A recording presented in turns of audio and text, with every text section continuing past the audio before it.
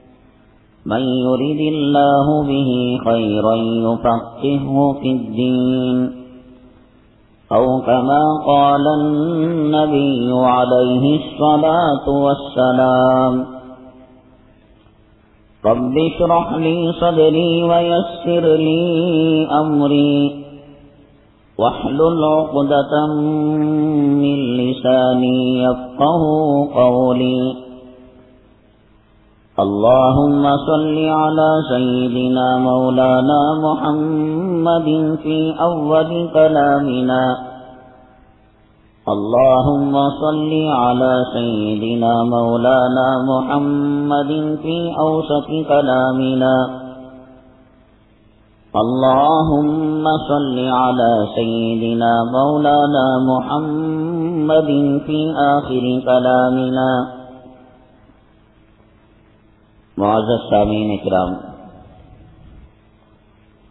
अल्लाह तबारक ताला ने अपने बंदों की हिदायत के लिए हज़रत अम्बिया आला नबीना अलैहिमुस्सलात व तस्लीम को मबूस फरमाया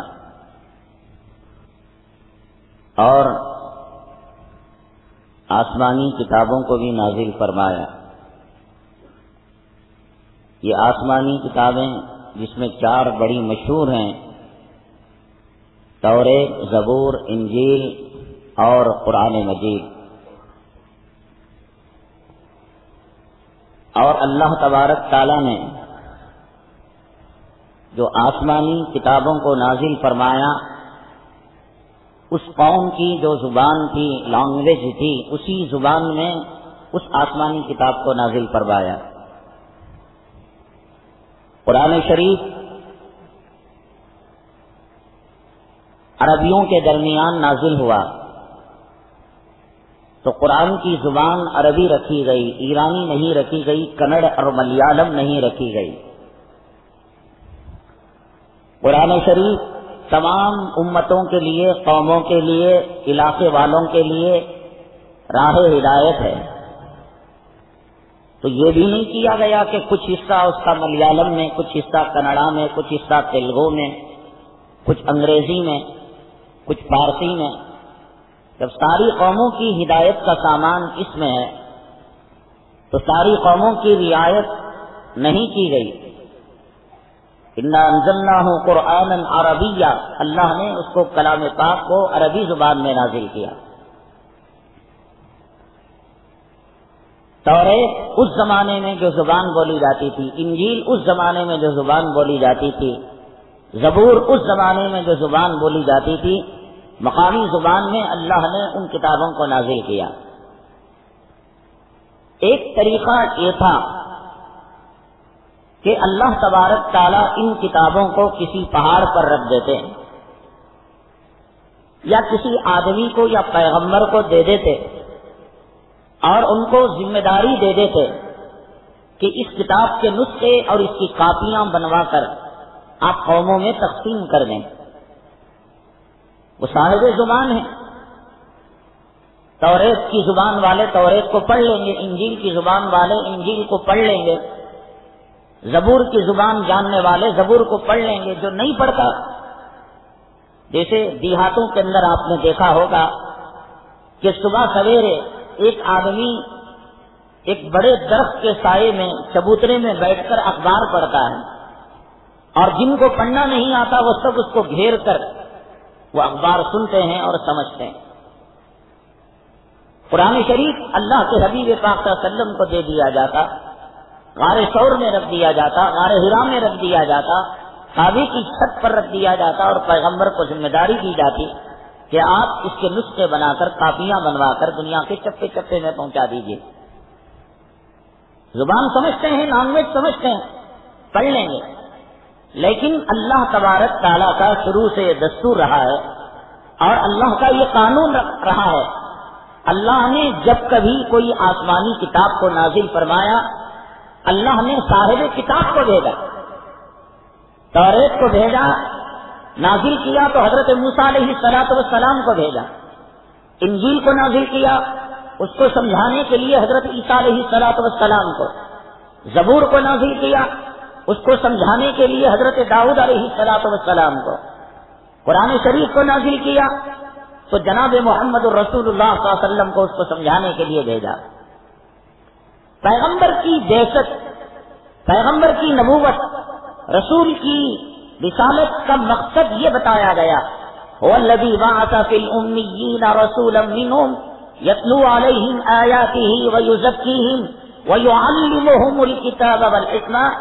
एक बुनियादी नबूवत का मकसद, नबी होने का मकसद और रसूल होने का मकसद ये बताया गया कि वो किताब सिखलाता है। बताता है कि इस आयत का तर्जमा क्या है, माना क्या है मतलब क्या है।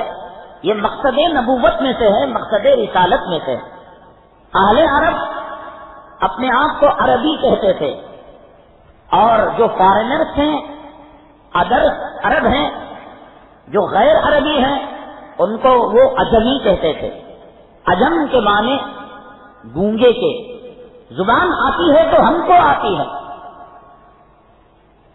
हम ज़ुबान में माहिर हैं। एक एक आदमी हज़ारों हज़ारों अशार को याद करता था, मुकाबला होता था और कंपटीशन होता था। उनके घोड़ों के, उनके जानवरों के, उनके मुर्गियों के और उनके ऊंटों के सैकड़ों हसब नसब वो जानते थे। अरबी के अंदर उसको फकरिया तौर पर वो बयान किया करते थे। उनको अपनी ज़ुबान पर बड़ा नाज था, लेकिन अल्लाह तबारक ताला ने ये नहीं कहा कि ये कौम अरबी जानती है। चुनाचे पैगंबर की ज़रूरत नहीं, एक नुस्खा कुरेश के काफिले में, एक नुस्खा मक् मुकर्रमा में एक ताइफ में, एक जिद्दा में, एक मदीन तय्यबा में अल्लाह ताला दे सकते थे। लेकिन अल्लाह तबारक ताला ने कलाम पाक को तेईस साल के अरसे में वक्तन फवक्तन हालात और ज़रूरत के तहत धीरे धीरे नाजिल फरमाया। और पैगंबर को ज़िम्मेदारी दी कि आप इन आयतों की तशरी बयान करें और इन आयतों का माना और मतलब बयान करें। पुराने शरीफ के अंदर नमाज़ का हुक्म है। और कई मरतबा हुक्म है। कीमत नमाज़ को कायम करो।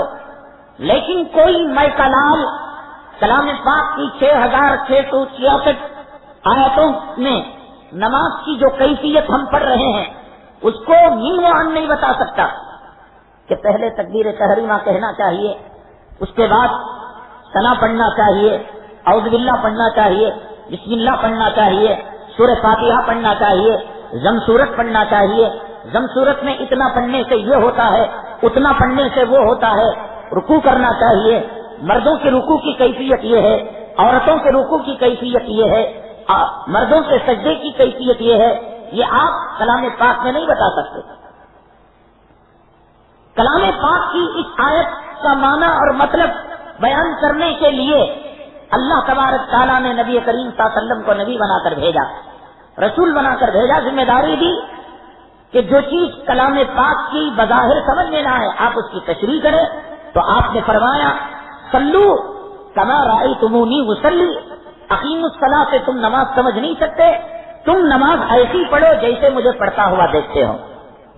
अब अल्लाह के हबीब पाक ने नमाज़ की कैफियत उम्मत को बयान की। यह अकीमुसला का तर्जुमा हुआ। पुराने शरीफ ने कहा अकीमुल हज अवल उम्र का हज करो और उम्र करो। लेकिन हज की वो कैफियत कि तवाफ के शराय क्या है, एहराम की खसूसियात क्या है, एहराम की मनहियात और एहराम को तोड़ने वाली चीज़ें क्या है, और फिर कहाँ से शुरू किया जाए तवाफ, सफ़ा मरवा की, सही की कैफियत क्या है, ये सब चीज़ें वजाहत के साथ नहीं आई। तो अल्लाह तबारक ताला ने नबी करीम वसल्लम को इसका तर्जुमा बताने के लिए मबूस किया? और आपने फरमाया, खुदू अन्नी मना सिकू ऐ लोगो, ऐ मेरे सहारा तुम मुझसे हज का तरीका सीख लिया करो। मैंने जो हज किया है, और मैंने जो हज का तरीका तुमको बताया है, वो तुम सीख कर उम्मत को पहुँचा दिया करो। जक़ात देने का हुक्म है। तो जक़ात कितनी दी जाए? किनको दी जाए? कितने पर दी जाए? ये सब पुराने शरीफ के अंदर इसकी वजाहत नहीं है। अल्लाह के हबीब पाक वसल्लम ने इसको। कहने का मतलब यह है कि कुरान शरीफ को अगर कोई साहिब किताब के बगैर, पैगंबर के बगैर अगर कोई अल्लाह के कुरान को समझना चाहे, अल्लाह की किताब को समझना चाहे, कियामत आ जाएगी, इसराफील सलाम सूर फूक देंगे, लेकिन वो अल्लाह की किताब को समझ नहीं सकता। अंग्रेज़ ने दुनिया के अंदर मुख्तलिफ़ जमातें पैदा की और मुख्तलिफ़ तहरीकें पैदा की। उनमें से एक तबका उसने पैदा किया। और वो तबका ये कहता है कि हदीस नबी करीम सल्लल्लाहु अलैहि वसल्लम के इतनी सदियों के बाद उसको मुरतब किया गया। अब वो सही है, अब वो गलत है, और एक बात मस्जिद से जब निकल पड़ती है, यहाँ दो हज़ार, ढाई हज़ार लोग अगर बयान सुनते हैं, हर एक जाकर अगर उनको कहा जाए कि तुम बयान का मकसद लिखो, हर एक के लिखने में फ़र्क आएगा ज़मीन और आसमान का। कोई कुछ समझेगा, कोई कुछ समझेगा। एक कहेगा, मौलाना साहब ने तो गाली दे दी। एक कहेगा, नहीं, वो समझाने के लिए बात थी।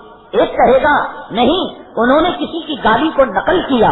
एक कहेगा, नहीं, उन्होंने हदीस का तर्जुमा पेश किया। एक बयान, एक वक्त, एक जगह, एक मजमा। लेकिन समझने की सलाहियत अलग तो इसने कौम मिल्लत को गुमराह किया और बेवकूफ़ किया, बनाया कि अल्लाह के हबीब पाक सल्लम ने जो माना और मतलब बयान किया है, वो तो उस जमाने में कलाम पाक भी मुरतब नहीं हुआ था। तो हदीस पाक को कैसे मुरतब कर दिया गया? तो लिहाजा इसका कोई मकाम और मरतबा नहीं है। कुरान अल्लाह की किताब है।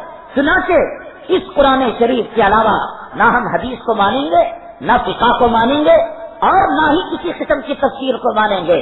कुरान जो चीज़ हमें समझ में आती है, बस उस पर हम अमल कर लेंगे। ये अहले कुरान का तबका हो गया। और एक तबका हुआ जो जमाने की तरक्यात के साथ, जमाने की तरक्यात का पैदावार तबका जिसको कहा जाए, जो उम्मत में कितने के लिए जिसको जन्म दिया गया, वो कलाम पाक की आयतों का सहारा लेकर ये बात कहने लगा कि कुरान शरीफ, ये इमाम आज़म अबू हनीफा रहमत समझे, बुखारी शरीफ इमाम मालिक समझे, वो आसमान से उतरे नहीं, वो ज़मीन से उगे नहीं, वो हमारी तरह एक इंसान है, पैगंबर नहीं है वो, और इंसान से कता हो सकती है, और इंसान से गलती हो सकती है, और इंसान से सहू हो सकता है। आज के जमाने में इनकी जो दरियाएँ बहती हैं, उस जमाने के अंदर उतना इल्म नहीं था। एक तबका कहता है, अबू हनीफा रहमत के जमाने के अंदर इल्म कहाँ था इतनी दरसगाहें इतने मदारिस इतने ओलमा इतने इल्म के सोर्स आप इंटरनेट के अंदर आप आज ऑनलाइन कोई फतवा मालूम करना चाहे, टोपी की कैफियत मालूम करना चाहे, आका के चेहरे अनवर में, दाढ़ी के अंदर कितने बाल सफ़ेद थे, वो मालूम करना चाहे, आपके जूतों की कैफियत मालूम करना चाहे नालेन शरीफैन की खासियत मालूम करना चाहे एक एक चीज़ आज मालूम की जा सकती है। इनके सोर्स बढ़ गए हैं, जराए बढ़ गए हैं, जराए अब आम हो चुके हैं। आपके जमाने में, इमाम अबू हनीफा के जमाने में, इमाम मालिक के जमाने में, इमाम अहमद, इमाम शाफी रही ताला के जमाने के अंदर इनके इतने सोर्स नहीं थे। लिहाजा इंसान होने के नाते उनसे कुछ चीज़ें पोशीदा रह गई और उनको जो चीज़ सामने नज़र आई, उसको उन्होंने कह दिया। लिहाजा अब उस जमाने के अंदर जिन लोगों ने उन पर एतमाद किया, भरोसा किया, वो उस जमाने की बात थी। अब इस जमाने की बात और है। उस जमाने में खच्चर पर, घोड़े पर गधे पर, एक इलाके से दूसरे इलाके तक सफ़र किया जाता था। महीनों सफ़र किया जाता था। अब यह है कि पिछले जमाने के अंदर आदमी जब हज को जाता, माफ़ी तलाफी कर कर, अपना कपन साफ़ लेकर, वसीयतनामा लिखकर, बीवी, बच्चों, माँ बाप से विदाई लेकर जाता था। यकीन नहीं था कि वापस भी लौट सकता है। मुमकिन है उसका पानी का जहाज़ डूब जाए, मर जाए और उसको मछली की गिजा बना दी जाए। अब मसला ये है कि आदमी नाश्ता यहाँ करता है और नाश्ते के बाद की चाह वो जिद्दा एयरपोर्ट पर पीता है। यहाँ फजर पड़ता है और इशराक की नमाज़ वो जिद्दा एयरपोर्ट पर पड़ता है। जमाना बदल चुका है, हालात बदल चुके हैं। कलाम पाक को समझने के सोर्स और जराए अभ्यास आम हो चुके हैं। तो वो जमाने के अंदर उन इलाके के लोगों ने, उस जमाने के लोगों ने अपने अपने इमाम पर एतमाद किया, भरोसा किया तो वो उस जमाने की बात है। अब कन्नड़ा में तर्जुमा मिलेगा, तेलुगु में तर्जुमा मिलेगा, मलयालम में तर्जुमा मिलेगा, हदीसों की किस्में हमारे सामने हैं, हदीस कभी कौन सी, हदीस दईफ कौन सी? अब हमें एक नया कितना खड़ा हुआ इस जमाने के अंदर कि अइमय किराम की अब कोई ज़रूरत नहीं रही। अगर वो दियानतदार भी थे अमानतदार भी थे, अल्लाह वाले भी थे, फकीर भी थे, और अपने जमाने के इमाम भी थे। तो वो उस जमाने की बात रही। अब इस जमाने तक, क्यामत तक उनको पकड़कर लटकना, उनकी ही शिका पर एतमाद करना, ये कौन से इंसाफ की बात है? उस जमाने के अंदर इल्म सिमटा हुआ था। अभी, गुजश्ता जुम्मा यहाँ एक साहब उत्तर प्रदेश या दिल्ली के इलाके के तशरीफ़ लाए थे। उन्होंने कहा कि हज़रत अब तो कलाम पाक की तबाहत के जराए आम हो चुके हैं प्रिंटिंग के। कि अब कंप्यूटर के ज़रिए से कौन सा दुनिया का नुस्खा छापना चाहे, बस घंटे, दो घंटे के अंदर पूरा कलाम पाक प्रिंट कर दिया जाता है। उस जमाने के अंदर चिकने पत्थर पर उल्टा कलाम पाक लिखना पड़ता था लेठू प्रेस होता था, और एक एक बर्फ़ उस पर लग कर वो उल्टे हरूफ उस पर सीधे आया करते थे।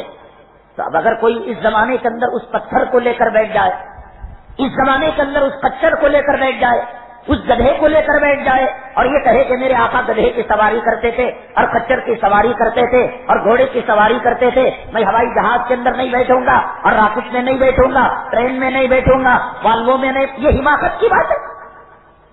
कंप्यूटर के जमाने में पत्थर को लेकर बैठ जाए, और कहे कि मैं इसी पर लिखा हुआ कुरान पढ़ूँगा, ये हिमा इस तरीके से एक पुरचितन जमाने के अंदर अहले चितन ने एक चोषा दिया और कहा कि खुद कुरान कहता है, वलकद यस्सरनल कुरान अली जिक्री पहल में मुद्दकिर कि हमने कलाम पाक को आसान किया उसे गाँव का देहाती किसान, अनपढ़ और ज़ाहिर पढ़कर समझ सकता है, अमेरिका का संतान समझ सकता है। हमने कलाम पाक के अंदर वो कैफियत दी, वो काफियत दी और वो खसूसियत दी। कि दुनिया का गरीब और दुनिया का अमीर और दुनिया का हाकिम और दुनिया का महकूम और दुनिया का आलिम और दुनिया का ज़ाहिर खुद कुरान कहता है यस्तरनल कुरान अली दिक्री हमने कलाम पाक को आसान कर दिया। पहलवी मुद्दत है कोई इससे नसीहत हासिल करने वाला। उसके बाद एक तहरीक चलाई गई। अब ईमान की तकलीफ़ की कोई ज़रूरत नहीं है। अब किसी ईमान की तबाह और उसकी बात मानने की कोई ज़रूरत नहीं है। और आप कलाम पढ़िए आप कलाम समझिए आप हदीस पढ़िए आप हदीस समझिए। इंटरनेट के ऊपर बैठकर बटन दबाइए मसाइल निकालिए और उस पर अमल कीजिए। वो जमाना था कि जब अंधेरे का जमाना चराग का जमाना घोड़ों का जमाना पत्थर पर लिखने का जमाना पत्तों पर लिखा जाता था पत्थरों पर लिखा जाता था का, कागज़ नहीं था। वो जमाने की बात और है। ये जमाना सही तो टेक्नोलॉजी का जमाना तो एक तरक्की याफ्ता मॉडर्न कॉलेज और यूनिवर्सिटी की पैदावार। आज उम्मत मुस्लिमा को ये बात कहकर वो तबका गुमराह कर रहा है कि हमें कुरान और हदीस के और हमारे दरमियान किसी दलाल की कोई ज़रूरत नहीं है, किसी एजेंट की कोई ज़रूरत नहीं है। कुरान कहता है, हामी वल किताब मुबीन। ये खुली हुई किताब है। ये कहता है कि इसके अहकाम वाजे हैं, दिन की रोशनी की तरह। इसमें अब क्या ज़रूरत है कि किसी इमाम की मानी जाए, तकलीफ़ की जाए? तो ये बात क्या अहले अरब को कलाम पाक ज़्यादा समझ सकते थे? या आज हम कर्नाटक में कन्नड़ बोलकर हिंदुस्तान के मुतासिब और नफरत जदा, जहर जदा माहौल में हम कुरान ज़्यादा समझ सकते हैं? या वो अरब लोग जिनको अपनी अरबी पर नाज था और गैर अरब और अदर अरब, जिसको वो गूँगे कहते थे, वो कलाम पाक ज़्यादा समझ सकते थे। वो कलाम पाक उनकी ज़ुबान थी, मादरी ज़ुबान, कारोबार की ज़ुबान थी, माशरत की ज़ुबान थी, घरेलू ज़ुबान थी। उनको समझाने के लिए अल्लाह तबारक ताला ने पैगंबर भेजा और पैगंबर की ये ज़िम्मेदारी दी रसूल यतलू ही इन्हीं में एक पैगंबर मबूस हुआ जो उनको किताब सिखाता है जो अली मोहम्मल किताब किताब सिखाता है ये ज़रूरत क्या है और क्या आज हम उलमा को छोड़कर औलिया को छोड़कर असलाफ को छोड़कर सहाबा को छोड़कर ताबीन को छोड़कर तबे ताबीन को छोड़कर आज के इस पुरफितन नफसानी ख्वाहिशात के जमाने के अंदर क्या कलाम पाक पर बराह रास्त आज कोई अमल कर सकता है? आज कोई बराह रास्त इस कितने के जमाने में हदीस पर अमल कर सकता है? नमाज़ को समझ सकता है? रोज़े को समझ सकता है? दीन को समझ सकता है? निकाह को समझ सकता है? तलाक को समझ सकता है? अल्लाह तबारक ताला चाहते तो जैसे चाँद एक है, उसमें कोई इख्तलाफ नहीं। सूरज एक है, उसके तुलु ग्रूप के अंदर कोई इख्तलाफ नहीं। दुनिया में कहीं झगड़ा होता है? कि भाई? छह बजकर पैंतीस मिनट पर तुलु। एक तबका कहता है, नाना साढ़े पाँच बजे तुलु। और एक तबका कहता है, नाना सवा कहीं देखा इख्तलाफ? सूरज को किसने बनाया? अल्लाह ने। चाँद को किसने बनाया? अल्लाह ने। ज़मीन को किसने बनाया? अल्लाह ने। आसमान को किसने बनाया? अल्लाह ने। मर्द के मर्द होने में कोई इख्तलाफ है? हमारे बारे में कोई झगड़ा करता है? कि इनके बारे में चार हॉल है। एक कहते हैं कि आधे मर्द हैं और एक कहते हैं आधी औरत है। एक कहते हैं पौने। अल्लाह अगर चाहता तो जैसे करोड़ों चीज़ों के बारे में इख्तलाफ के बगैर उन चीज़ों को रखा। मछलियाँ पानी में रहती हैं। इनमें कोई इख्तलाफ है? परिंदे हवाओं में उड़ते हैं। इनमें कोई इख्तलाफ है? इंसान गजा खाता है। हवा में सांस लेता है। इनमें कोई बगैर इख्तलाफ के अल्लाह ने करोड़ों मसाइल रखे। अल्लाह अगर चाहता तो दीन के अहकाम को इख्तलाफ के बगैर एक परफेक्ट दीन, जैसे सूरज का तुलू और सूरज का गुरूब ज़मीन और आसमान का निज़ाम गैर इख्तलाफी है। अल्लाह तबारक ताला दीन को भी इख्तलाफ के बगैर एक ही नमाज़ दे देता। या तो रफैदैन वाली, या रफैदैन के बगैर। या तो आमीन ज़ोर से वाली, या आमीन आहिस्ता वाली। या तो बीस रकात, या तो आठ रकात। या तो एक हाथ से मुसाफा, या तो दो हाथ से मुसाफा। या तो एक मजलिस की तीन तलाकें या एक मजलिस की एक तलाक। अल्लाह अगर चाहता, ज़मीन आसमान को किसने बनाया? मर्दों को किसने बनाया? औरतों को किसने बनाया?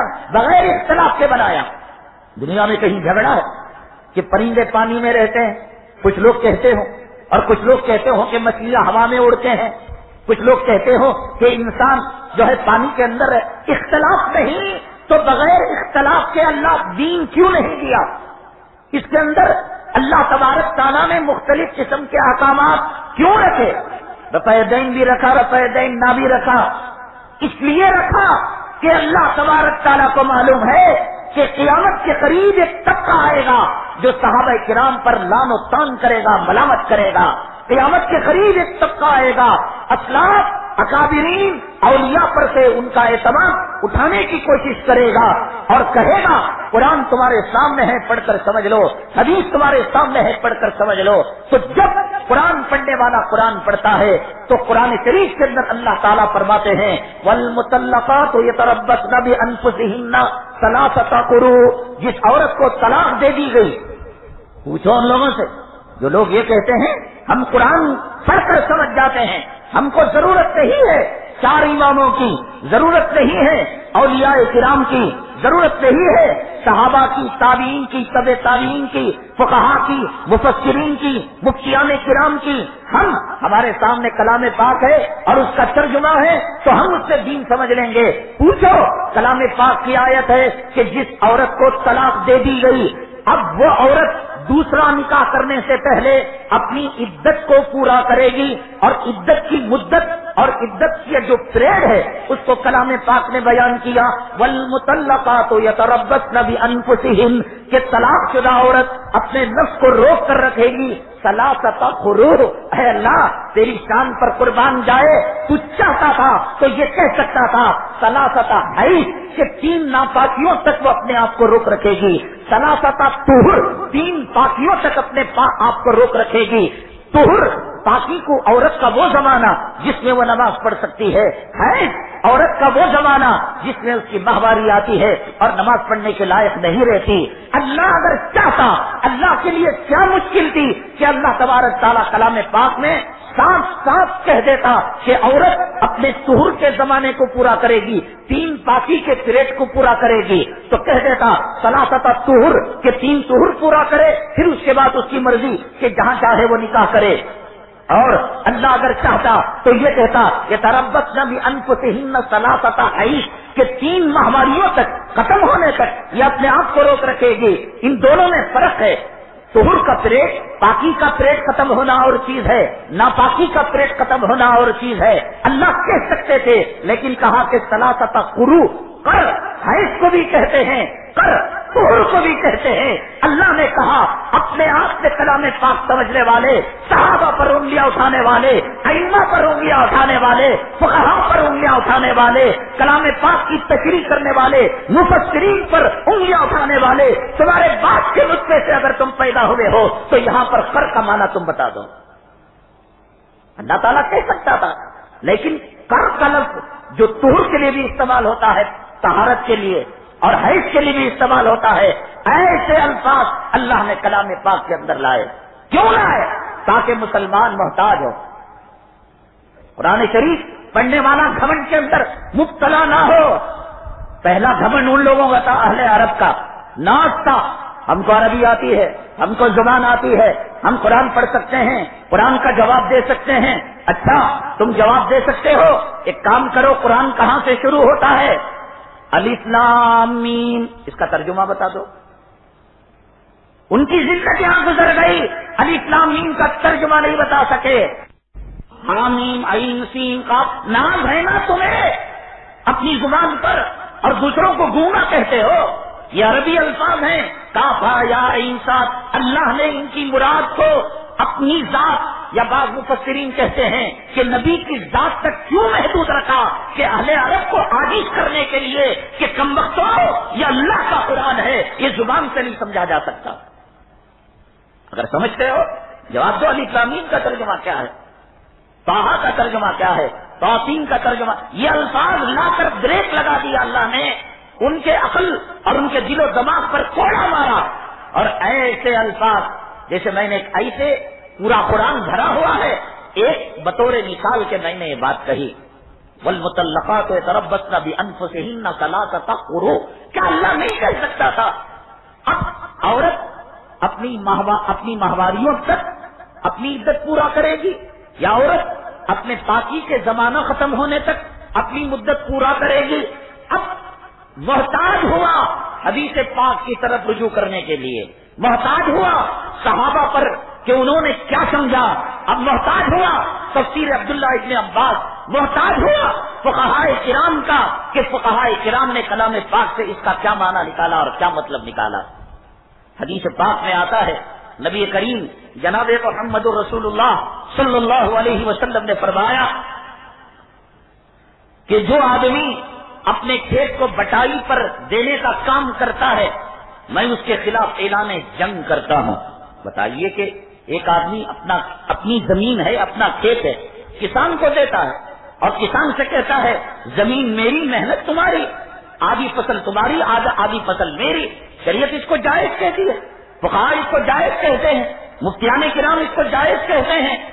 लेकिन हदीस पाक के अंदर कहा गया कि जो आदमी इसके अंदर मुबतला होगा और जो आदमी पुनः काम के अंदर मुबतला होगा और उसके खिलाफ ऐलान जंग है। अगर हदीस के ज़ाहिर अल्फाज को देखा जाए तो ये काम ही ना जायज़ हो जाता है। अब अल्लाह के हबीब पाक सल्लल्लाहु अलैहि वसल्लम ने उन लोगों पर जो ये कहते हैं कि कुरान को समझने के लिए हदीस काफ़ी है, आपने जैसे अल्लाह तबारक ताला ने अल इस्लाम मीन काफा या इंसाफ कहकर, अरबों के दिलो दमाग पर कोड़ा लगाया, सलासता कुरू कहकर कुरान सहनी का दावा करने वालों के दिलो दिमाग पर अल्लाह ने कोड़ा लगाया, जरब लगाया। तो अल्लाह के नबी सल्लल्लाहु अलैहि वसल्लम ने ऐसी हदीसें बयान कर कर, जो सिर्फ़ ये कहते हैं कि हमारे लिए कुरान और हदीस काफ़ी है, उनके दिलो दिमाग पर आकाए दो आलम ने कोड़ा लगाया। कम रखो, हदीस के ज़ाहिर पर तुम एतमाद नहीं कर सकते। हदीस पाक में नबी करीम जनाब मोहम्मद रसूलुल्लाह सल्लल्लाहु अलैहि ने निशात फरमाया कि जो आदमी अपनी हवा जो खारिज करता है री जो खारिज करता है, जिससे वज़ू टूटता है। आवाज़ न सुन ले या बदबू महसूस न कर ले तो उसका वज़ू नहीं टूटता। अब इसका मतलब बजाहिर ये हुआ कि अगर कोई आदमी बगैर आवाज़ के रीह को खारिज कर दे, बगैर बदबू के रीह को खारिज कर दे, थोड़ी सी रीह को खारिज करने में ना बदबू होती है, ना आवाज़ होता है तो हदीस के ज़ाहिर अल्फाज के एतबार से आपकी हदीस का मतलब ये हुआ कि उसका वज़ू नहीं टूटा। जबकि सारी दुनिया के उलमा का इतफाक है कि जर्रा बराबर हवा खारिज हो गई। आवाज़ आए, ना आए, बदबू आए, ना आए, उसका वज़ू टूट जाता है। तो हदीस के अंदर ये कहकर कोड़ा लगाया गया कि हदीस को समझने वाले फुकाहाए किराम ने, हदीस को समझने वाला वो तबका जिसकी तारीफ़ अल्लाह ने की है, अल्लाह के नबी ने की है, जब तक तुम इनके मोहताज नहीं बनोगे, तुम हदीस को नहीं समझ सकते। वरना एक आदमी माइक्रोफोन लगाना पड़ेगा पाखाने की जगह। और कान के अंदर डिग्री रखनी पड़ेगी कि भाई इसकी आवाज़ आ रही है नहीं आ रही है। और एक पैर लगाना पड़ेगा पाखाने की जगह। और नाक के अंदर उसकी जो है दूसरा तरह रखना पड़ेगा कि बदबू जा रही है नहीं जा रही है। लेकिन हदीस पाक के अंदर ये जो फरमाया गया, ये उस शक्की इंसान के लिए जो खाम रखा बिना वजह बैठे बैठे मुझे जो हवा खारिज हुए जैसा दिखा, हमें आवाज़ आए जैसा, हमें क्या की पेट में गड़बड़ के जैसा दिखा, जा रहा है, वज़ू कर रहा है, आ रहा है, जा रहा वज़ू कर रहा है, आ रहा है, जा रहा वज़ू कर रहा है, आ रहा है। तो उसके बारे में फरमाया, अरे बेवकूफ़ कहीं के, तेरे लिए मसला ये है कि जब तक तू बात सूंघ ना ले और आवाज़ को महसूस ना कर ले तो ये कैसे पता लगेगा ये फुकाहाए किराम है कि जिन्होंने हदीस के माने को बयान किया, हदीस के मतलब को बयान किया। जंगल के अंदर जड़ी बूटियाँ नीम के पत्ते हैं, अंगूर के कोचे हैं, आम है, अमरूद है। अल्लाह ने उनके अंदर खासियतें रखी है। जाफरान है, अखरोट है, बादम है सेठ है, सब ताकत वाली चीज़ें हैं। लेकिन कौन सी चीज़ के अंदर कौन सा विटामिन है? ये किसमें है, बी किसमें है, सी किसमें है? और किस इंसान को, किस उम्र में कितना विटामिन लेना चाहिए?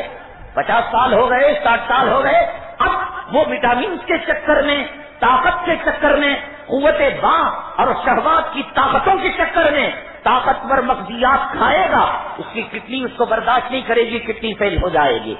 ये काम कौन बताएगा?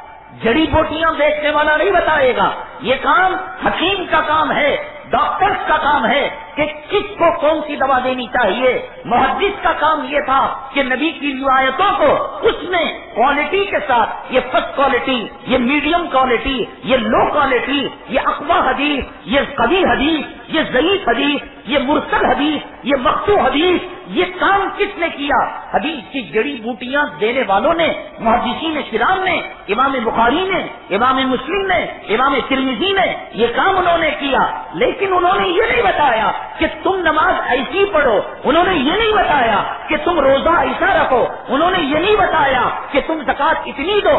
सिर्फ़ उनका काम जड़ी बूटियाँ देने का था।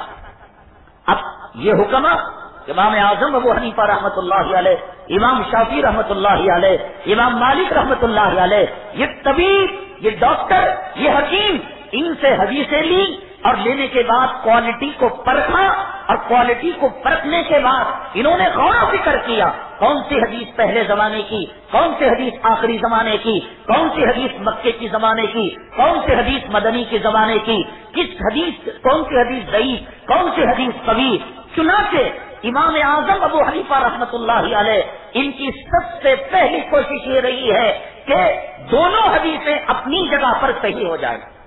रसूल्ला का कौल है। एक को गिराकर एक को ऊँचा नहीं कर सकते। हदीस जईफ कभी बात की बात, लेकिन हदीस किसकी है? सुन्नत किसकी है? बोल किसका है?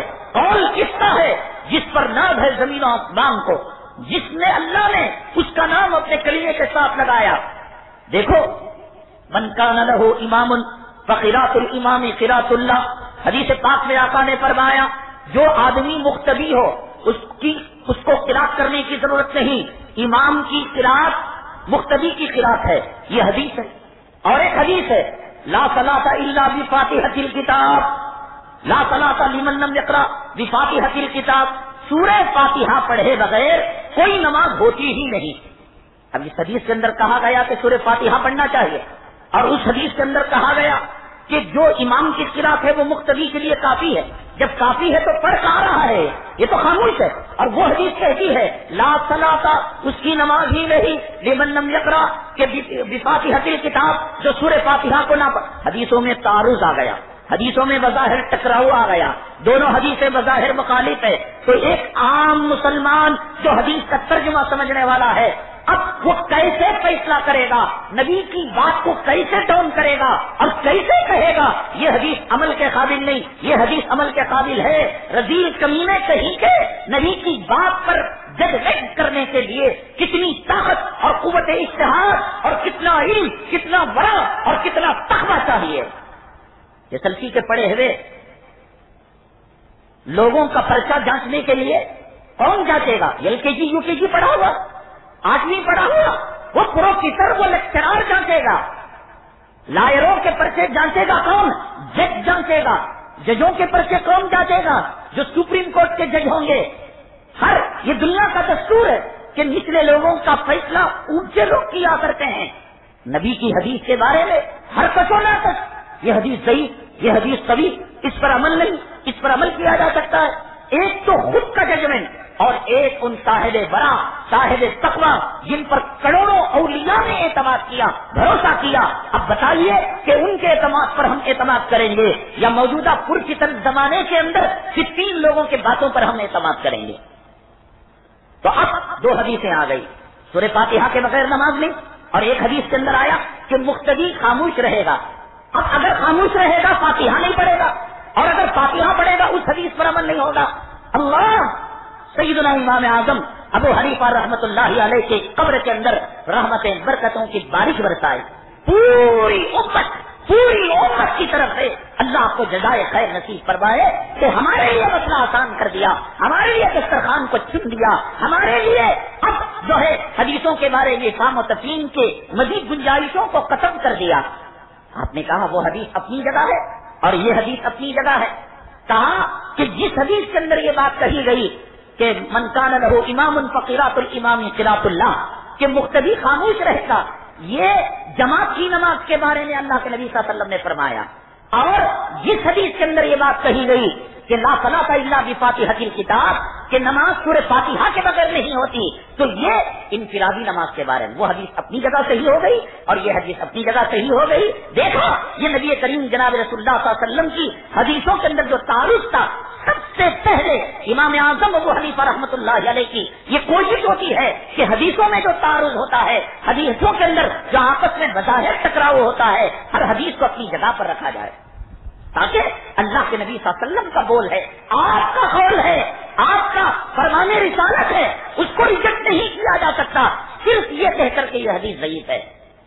तो आप पहला काम ये करते हैं कि दोनों हदीसों को अपनी अपनी जगह पर उससे माने और मतलब के साथ रखते हैं।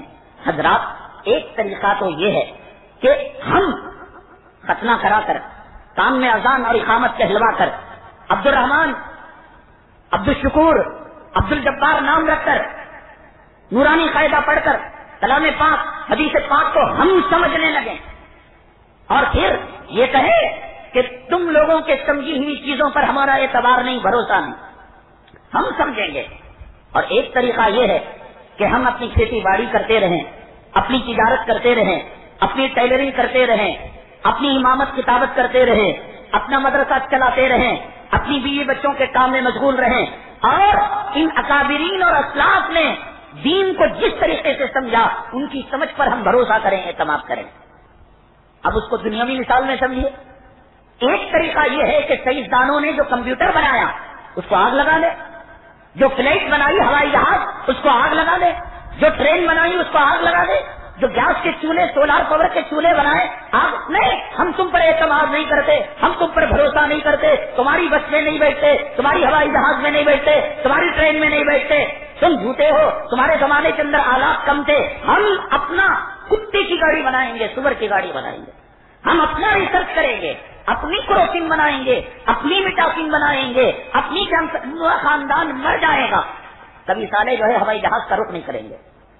बताइए, इन दो तरीकों में कौन सा तरीका अच्छा है? एक तरीका, पिछले लोगों की इजादात और सैंसी तहकीकात पर एतमाद किए बगैर खुद अपना कोई काम कर लेना, अपनी गाड़ी, अपनी कार बनाना। और एक उनमें एतमाद कर कर, उनकी चीज़ों को इस्तेमाल कर कर उनको दुआएँ देना। अल्लाह, अगर वो मुसलमान हैं, जन्नत में उनके दर्जात बुलंद फरमा।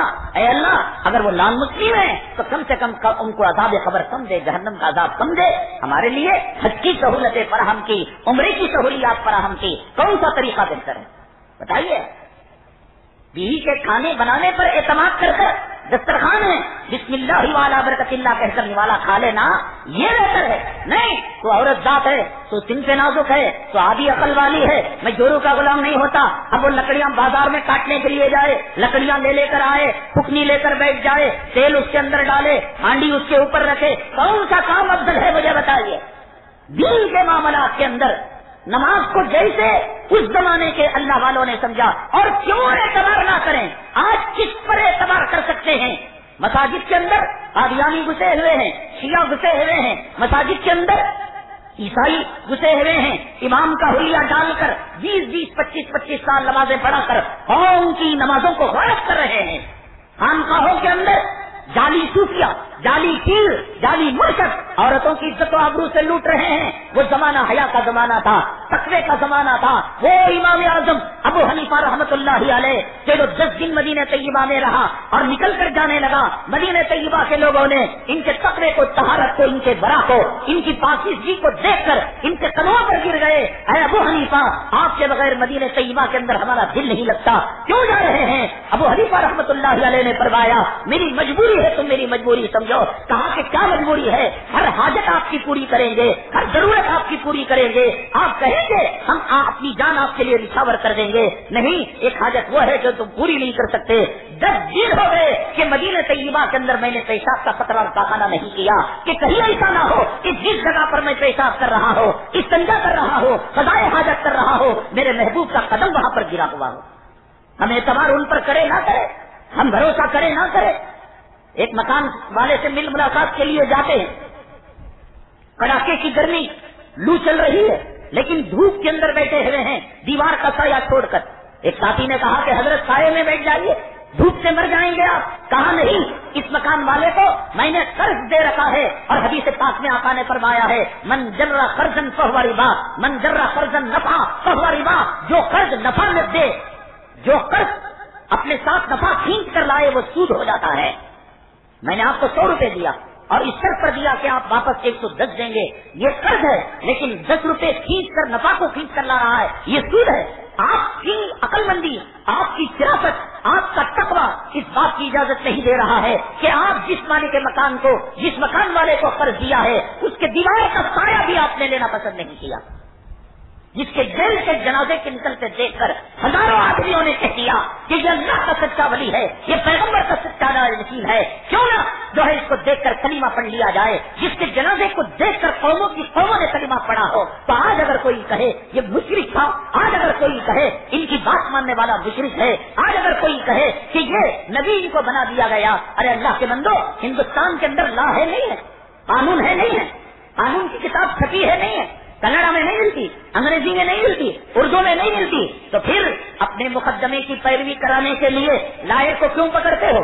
अपने मुकदमे की पैरवी कराने के लिए आप एजुकेट को क्यों पकड़ते हो? क्या तुमको कानून पढ़ना नहीं आता? कानून नहीं जानते तुम। तुम कहो कि कानून की तकरी नहीं कर सकता हो, लॉ की किताब नहीं पढ़ सकता हो, एल को क्या उससे बड़े कोर्स को नहीं कर सकता हो? अरे जगता है, मैं खुद तकरी करूँगा। क्या दुनिया आपकी तकरी को मानेगी कानून की? वो काले कोट वाले का मकान क्यों है? क्या वो पैगंबर है? क्या वज़ीर आज़म है? वो कानून बनाने वाला है। कानून बनाने वाला नहीं, कानून की तशरी करने वाला है। अबू हनीफा रहमत ने फरमाया कि मेरे कौल के सामने, मेरे मसलक के सामने, मेरे तरीके के सामने दई हदीस मिल जाए, मेरे तरीके को दीवार पर मार दो, नबी हदीस को सीने से लगा लो। उन्होंने ये नहीं कहा, मैं पैगंबर हूँ, मेरी इतवा करो, मेरे नक्शे कदम पर चलो। उन्होंने एहसान किया कि सला सफ़ा कुरु से हमको समझ में नहीं आ रहा था। हमको खेत बटाई पर देने का मसला समझ में नहीं आ रहा था। हमको खिलाफ कल्पल इमाम और पूरे साथियों का मसला समझ में नहीं आ रहा था। तलाक का मसला समझ में नहीं आ रहा था। खुले का मसला समझ में नहीं आ रहा था। जनाजे का मसला समझ में नहीं आ रहा था। अबू हनीफा, आपने काम किया, उम्मत मोहम्मद सल्लम पर। हदाई के हनफिया और दीगर किताबें मैं हवाला दूँगा आपको। अगर आपके पास व्हाट्सएप है, किताब का स्कैन कर कर भेजूँगा। कि सैदना इमाम आज़म अबू हनीफा रहमत क्यों हम उनकी बात मानते हैं?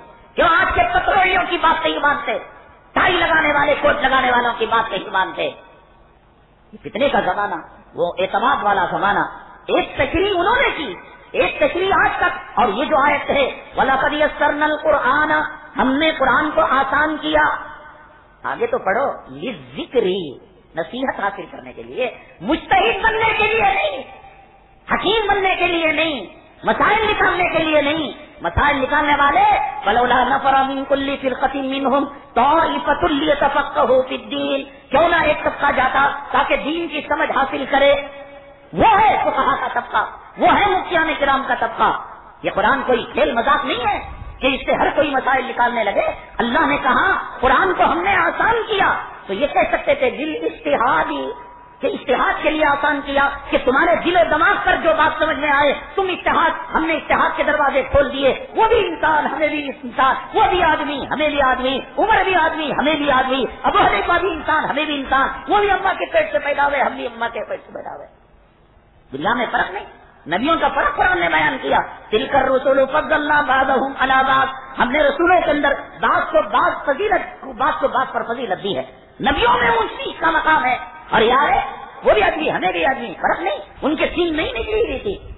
अलियाजबिल्ला तुम अलियाजबिल्ला कलाम पाक को समझने के लिए अल्लाह ने आसान किया है। वलकद करनल कुरान हमने कुरान को आसान किया जिक्री नसीहत हासिल करने के लिए। देखो, पढ़ो। अल्हम्दुलिल्लाह रब्बिल नसीहत हासिल करो। उस अल्लाह की तारीफ़ जो मुसलमानों का पालनहार नहीं। उस अल्लाह की तारीफ़ जो ज़मीन वालों का पालनहार नहीं, उस अल्लाह की तारीफ़ जो आसमान रब्बिल आलमीन, जितने वर्ल्ड हैं यूनिवर्स हैं, तमाम आलमों को अल्लाह पालता है। कर्नल कुरान अली जिक्री हमने आसान किया बेवकूफ़ तो इस नसीहत को हासिल कर।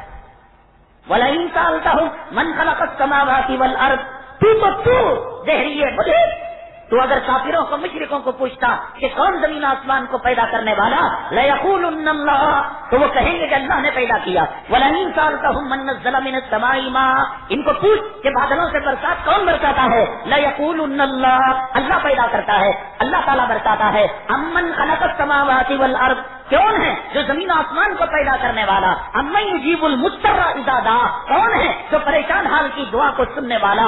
और कौन है? वैदा मस्तक फिलबारी वल्लमन तदून कि तुम यहाँ मुख्तलि वला कद यस्सरनल कुरआन जिक्री। ये पढ़ता जाओ और नसीहत हासिल करता जा। खलकल इंसान अमिन सलसाल कल फकार व खलकल जान अमिन मारी मिन नार।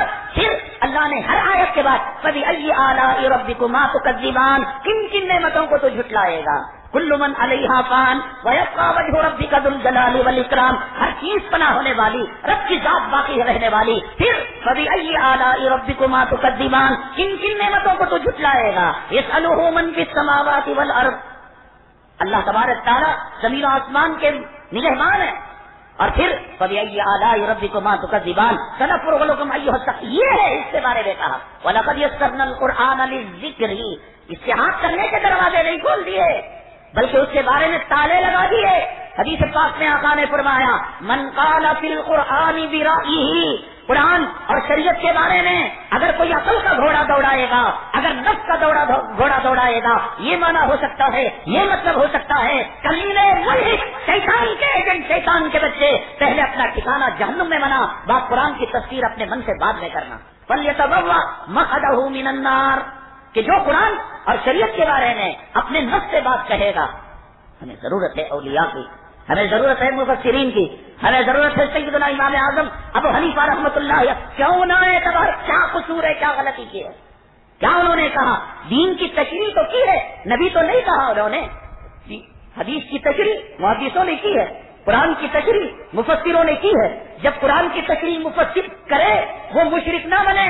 इमाम बुखारी ने हदीस की तशरी की और तर्जमतुल बाप लगाया, वो मुशरक ना बने। और अबू हनीफा कुरान हदीस को सामने रखकर सिखा दे दिया, अल्लाह के नबी सल्लल्लाहु अलैहि वसल्लम के सीरत के दो गोशे हैं। एक अल्फाज है, जिसको रिवायत कहते हैं।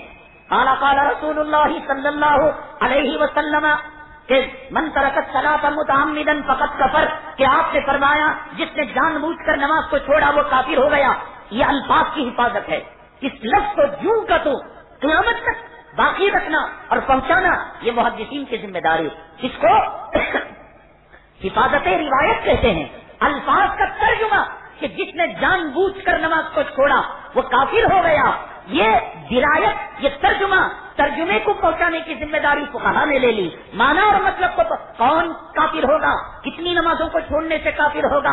एतहाद के तौर पर छोड़ने से काफिर होगा? या अमल के तौर पर छोड़ने से काफिर होगा? या तकबीर तहरीमा छोड़ने पर ये फुकाहा ने काम किया, ये उम्मत पर एहसान किया उन्होंने कि जैसे अल्फाज का पहुँचाने वाला नबी नहीं बना, बल्कि कौम मिलत का मुहाफिज बना मुहदस बना तो दिरायत और तर्जुमा माना मतलब पहुँचाने वाला फकीर बना।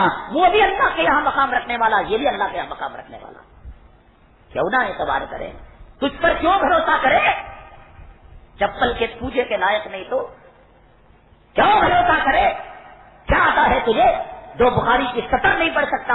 और हम क्यों ना भरोसा करें? उस सैदुल इमाम आज़म, अब हनीफा रहमतुल्लाह अलैह पर जिन्होंने पचपन हज किए। आखिरी मरतबा जब निकल रहे थे खाने काबा के कलीज बरदार, चाबी होल्डर की होल्डर को कहा शीरी खानदान के फर्द को कि आप मुझे इजाज़त दें, अल्लाह के काबे के अंदर नहीं जाऊँगा। जिसने रुखसती के वक्त काबे के अंदर जाकर दो रकात नमाज़ पढ़ी, और पहली रकात में पंद्रह पारे और दूसरी रकात में पंद्रह पारे, और दो रकात में अल्लाह के कलाम को खत्म किया, और सजदे में जाकर रोने लगा अरे अल्लाह, तूने मुझे सिख दी, समझ दी दीन की, और मैंने तेरी मारिफत को जितना समझना था, मेरी अकल के मुताबिक समझा। मौला, माफ़ कर देते जितना समझा होती तेरी इबादत नहीं कर सका। दो रकात में पूरा कलाम पाक। और ये रोना, ये गिड़गिड़ाना। हाथी से गैबी ने काबे के अंदर आवाज़ दी, अबू हनीफा, रोता क्यों है? तूने हमारा हक अदा कर दिया। और अपने मुल्क में ये खुशखबरी लेकर जा कि तू बख्शा बख्शाया है, तेरे मानने वाले बख्शे बख्शाए हैं, और कियामत तक तेरी बात मानने वालों को हमने मकसरत का परवाना दे दिया। ये बात समझते पाए है, लेकिन फिर भी कई मोतबर किताबें मैंने कहा कि आप इस ज्ञान अगर व्हाट्सएप में लेना चाहे, मेल में लेना चाहे, मैं इंसान कर सकता हूँ। अल्लाह ताला के खजाने में रहमत की कोई कमी नहीं है। जो लोग आज सेल्फ स्टडी करते हैं, खुद से पढ़ते हैं, किसी मदरसे के फारिग नहीं है। भाई, मैं किसी दुनिया की मेडिकल कॉलेज में कोर्स नहीं किया। मेरा बाप डॉक्टर था, मेरा दादा डॉक्टर था, देख देख कर मैंने सर्जरी सीख ली। दुनिया मेरी सर्जरी को मानेगी? दुनिया मेरी डॉक्टरी को मानेगी? और दुनिया के लोग कहेंगे, जब मुझे गिरफ़्तार करके ले जाएँगे, ओहो, आ गया बाप दादा की डॉक्टरी पर नाश करने वाले, चमड़ों को तो क्या टाका लगाएगा तो चप्पल को टाका लगाने के लायक डिग्री है तेरे पास। कानून जानकर मैं सुप्रीम कोर्ट के कटहरे में और सुप्रीम कोर्ट के महफिल में चले जाऊँ और कानून की तजरी तो जज साहब पूछेंगे कि आपके पास क्या है सनत आज five star three star two star होटलों में चाय बनाने के लिए होटल मैनेजमेंट कोर्स की डिग्री चाहिए। कुरान इतना सस्ता हो गया कि जिसको पेशाब से ढेले लेने की तमीज नहीं, जिसको जोड़ू रखने की तमीज नहीं, रंडियों बाजारी औरतों की तरह बाज़ार के अंदर अपनी औरतों को घुमाता है। वो आज कुरान की तकलीफ़ करेगा। और सफ़ेद तागे से मरा सुबह ताबिक और सहाबी ने क्या समझ लिया? काले तागे से मरा काला तागा, और सफ़ेद तागे से मरा सफ़ेद तागा, और वो भी तकिए के नीचे रखकर देखते जाते, खाते जाते। रसुल्लाम तक बात पहुंचाई तो आपने तब सुख फरमाया मुस्कुराया और फरमाया, अल्लाह के बंदे काले तागे से मुराद रात की तारीखी है, और सफ़ेद तागे से मुराद सुबह ताबिक की रोशनी है। सहाबी, जिसके नाम के साथ रज़ी अल्लाह सहाबी जो नफ का पुजारी नहीं हो सकता, सहाबी जिसके लिए जन्नत वाजिब हो सकी सहाबी जिसके तकवी की शहादत कुरान में दी। सहाबी जिसने नबी की इस्तदा बगैर वास्ते की की। सहाबी जिसने सुफा सबूतरे के अंदर नबी की शागिर्दगी इख्तियार की। वो रात की तारीखी और सुबह सादिक की रोशनी को नहीं समझ सका।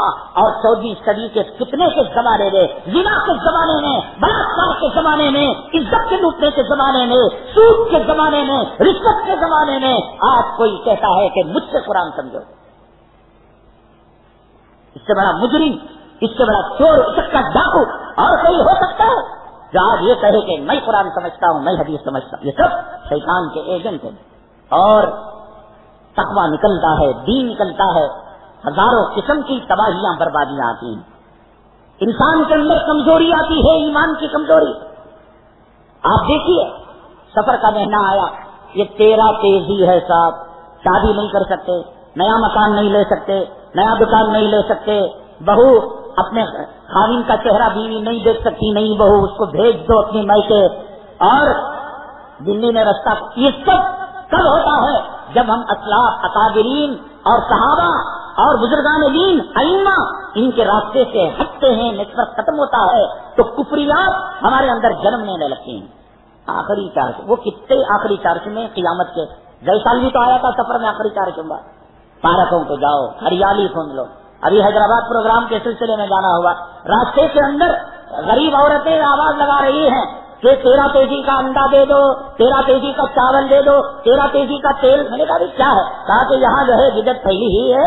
और ये लोग रात के अंदर जो है तेल रखकर, तकिए के नीचे चावल रखकर, अंडा रखकर, ये तेरा तेज़ी की बला को टलाने के लिए आज इस तरकी याफ्ता जमाने के अंदर। ईमान कमज़ोर होता है तो तवहमात जन्म देने लगती हैं। मुसलमान का अल्लाह पे एतमाद उठता है तो घर के वास्तु के लिए और बच्ची के शादी के लिए उलमा नहीं, पंडितों का सहारा लिया जाता है। मुसलमान है, पंडितों को बुलाकर घर का वास्तु देखते हैं। मुसलमान है, जो बेटी की बिया के लिए वो तारीखें देखते हैं। ये बरकत वाली तारीख, ये मनूस वाली तारीख। ना, मुसलमान जिसकी सुबह अल्लाह के नाम से हुई, दुनिया की कोई ताकत उसका बाल बीना नहीं कर सकती, और जिसने सुबह बाज़ार के रुख से की, हदीस पास में आता है कि वो शैतान के झंडे को लेकर जाने वाला। अपनी खैर आप बनाता है, अपना शर आप बनाता है। अल्लाह ताला ने किसी दिन को, किसी महीने को न मनहूस बनाया, न मुबारक बनाया। बाबरकत रमज़ान है, शब कदर है लेकिन उस जमाने में कोई जिना करे, चोरी करे, बदकारी करे तो वो उस जमाने का मनहूस तरीन कुत्ता है। अगर कोई सफ़र के महीने के अंदर दाढ़ी मुड़ाता है, सफ़र के महीने में सुन्नतें छोड़ता है नहुसतें आती हैं और देश महीने को देता भाई, ये तेरा तेज़ी हुई, इसलिए ऐसा हो गया। आखिरी चार जुम्मा हुआ, इसलिए ऐसा हो गया। भाई आप सोचेंगे, ये तो हिंदुस्तान का मुसलमान करता होगा। दीन से जो हटता है, मज़हब इस्लाम, अल्लाह पर एतमाद, अल्लाह पर ईमान पर पख्तगी और अल्लाह नफा नुकसान का मालिक, ये यकीन देता है। यूरोप की सरजमीन के अंदर जो साइंस और टेक्नोलॉजी में बहुत आगे है, अमेरिका आगे है, बरतानिया आगे है, फ्रांस आगे है, ये सब ममालिक के अंदर बदशगुनी ली जाती है। वहाँ बारहवा फ्लोर होता है, उसके बाद कितवाना नंबर तेरवा नहीं होता। चौदवा फ्लोर होता है। अगर कोई तीन तारीख, तेरह तारीख, तेईस तारीख को पैदा हो गया तो अपना जन्मदिन, बर्थडे, वो चार तारीख को मनाएगा, चौदह को मनाएगा, चौबीस को मना, ये उस उन उन उन मुल्कों के अंदर है। ऑस्ट्रेलिया के अंदर कोई मुर्गा मरता है तो सामने ज्ञान बाधा लेकर जाते हैं और कहते हैं कि बलाएँ आ रही थी और हम धमाके से, म्यूज़िक से और ढोल ताशों से हमने इन बलाओं को चला दिया। और अगर किसी माँ बाप के सामने अमेरिका के अंदर बच्चे की तारीफ़ की जाती है तो वो ज़मीन पर थूक देते हैं और ये समझते हैं कि अगर हम न थूके हमारे बच्चे मर जाएँगे। इस किस्म की बद एतकादी जो ईमान से हटता है, अल्लाह पर तवक्ल नहीं करता, अल्लाह को नफा नुकसान का मालिक नहीं मानता, वो अमेरिका भी चला जाए, वो साइंटिस्ट भी हो जाए, लेकिन ये बद एतकादी जाती नहीं। फ्रांस के अंदर बच्चों की मौत के साथ उनके खिलौनों को दफन किया जाता है। और ये समझा जाता है कि जो बच्चे बगैर खिलौनों के दफन होंगे, क्या वो मिट्टी से खेलेंगे? वो गरीब हो जाते हैं। इसलिए हम उनको हाईटेक खिलौने, made in Japan, made in China की गुड़िया देते हैं कि खबर के अंदर वो इन खिलौनों से खेले। बद एतहादी बद पाली ये ईमान की कमज़ोरी का नाम है। हमारे अंदर ईमान कमज़ोर होता है तो बिल्ली हमें डराती है, तेरा तुलसी हमें डराती है, आखिरी चार सुबह हमें डराता है, और दुनिया की हर चीज़ हमें डराती है। और अल्लाह से डरने वाले हो जाए तो दुनिया की हर चीज़ हमसे डरती है। शेख सादी रहमत ने वाकिया लिखा कि मुसाफिरों की एक जमात जंगल में जा रही थी और एक आदमी उसमें से रास्ता भटक कर जंगल में चले गए। उस जमाने के अंदर वो नहीं होता था कि उसके अंदर आरो मार्ग डाला गया हो और लिखा गया हो कि यहाँ से शहर 20 किलोमीटर के फासले पर है। ये स्टेट वे है, ये नेशनल हाईवे है। इसका नंबर कुछ नहीं होता था, जंगल होते थे और रास्ता बताने वाले किराएदार दलाल होते थे। वो काफिले से बिछड़ गए। बड़े परेशान हुए। कहा कि क्या करे, क्या नहीं करे, अल्लाह अल्लाह करने लगे। एक शेर करीब आया, डर गए। पसीने छूट गए और जमीनों, पैरों तले ज़मीन हिट गई। कहा कि क्या होगा अल्लाह, अब तो ये हमला करेगा। कहा कि वो आया और आने के बाद अपने मुंडी को ऐसे हलाया जैसे वो उसका गुलाम हो। बैठ गया और इशारा किया कि उसकी पीठ पर बैठ जाए। और पीठ पर बैठ गए तो काफिले तक पहुँचा कर शुक्रिया के साथ वापस आ गया। अल्लाह से डरने वाले बने तो जंगल के दरिश्त में भी रास्ता बताते हैं और अल्लाह का डर दिल से निकल जाता है। तो ये काली बिल्ली रास्ता काटती है तो आदमी जो है, वो सफ़र नहीं करता। नहीं, बिल्ली को देख लिया कब्बे को देख लिया, कम वक्त कहीं गए, आईने में अपने मनुष्य चेहरे को नहीं देखा था कि जिस चेहरे पर सवा लाख पैगम्बरों की सुन्नत नहीं थी आईने में वो लिबास नहीं देखा था, जो इस्लाम मुसलमान दुश्मनों का लिबास था। आईने में अपने जोरू का हुआ नहीं देखा था, जो बाल कटाने वाली भवेश तराश करने वाली, जिसको अल्लाह के नबी ने लानत बरसाई थी।